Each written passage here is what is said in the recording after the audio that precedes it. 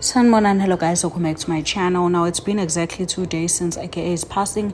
He passed away unfortunately on Friday, and since then Cassper Nyovest hasn't um, reacted until now. Now this is what he said, and I quote: "My sincere condolences goes out to Kiernan and Tebello's family, um, colleagues, and fans. May their soul rest in peace and their legacies be celebrated.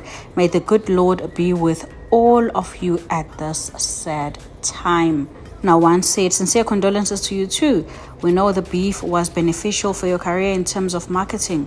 Stay strong. And Jay was like, You need Jesus. And another one was like, um, that's what a true leader does, not succumb to people's pressure because many were expecting you to tweet yesterday. Thank you for taking your time and thinking deeply about the situation. Kiernan was a competitor, not your enemy, and both of you raised the hip hop bar higher. Thank you. You guys gave us the best time in school. That 2012 to 2016 era was insane.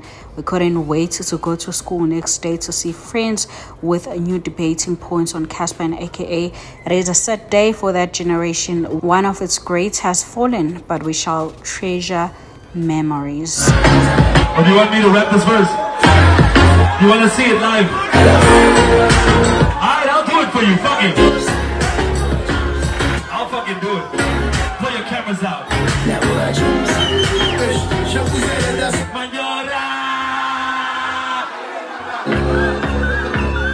Ke tshwera case a re ko makoko ke le tshegele tsa ko london.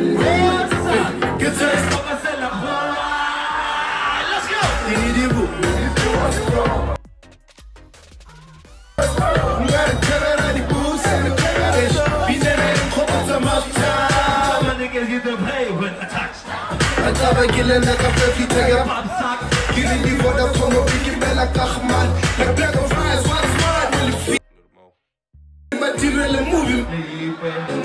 16 You guys are fucking amazing.